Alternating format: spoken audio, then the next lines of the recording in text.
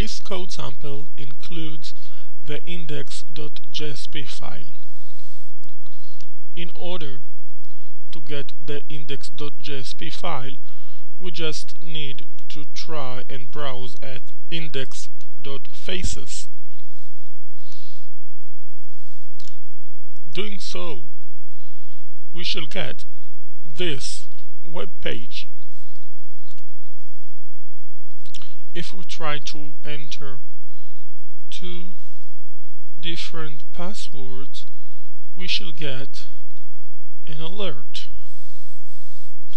This pop-up window is generated using a small code in JavaScript. This code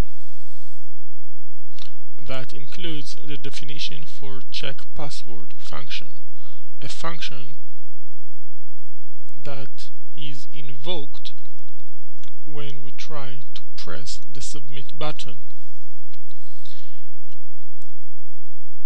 If we check the outcome of this specific index.jsp file, we shall see that the name of each one of the input text fields is composed of the word registration and an additional name. The word registration is in fact the ID we gave our, our form. The other name is in fact the ID we gave each one of the input text fields.